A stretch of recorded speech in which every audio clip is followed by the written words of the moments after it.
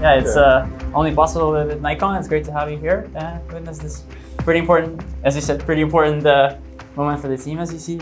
Quite yeah. We just performed our long burn, so a six second burn of our engine, and it went very, very well. It looked awesome, and we're just getting the data back, but this means that we can fly this engine for Vega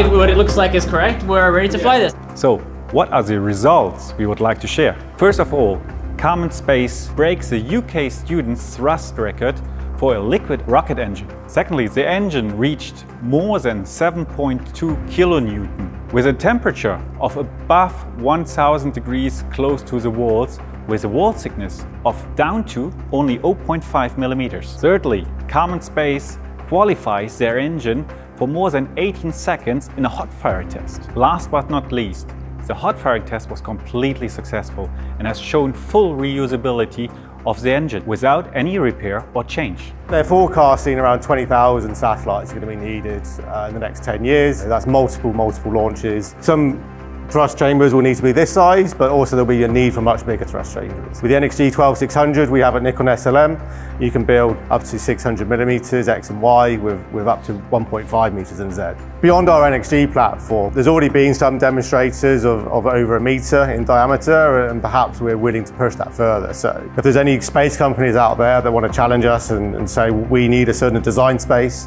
we want to hear from you, and maybe you can be a part of that next product generation.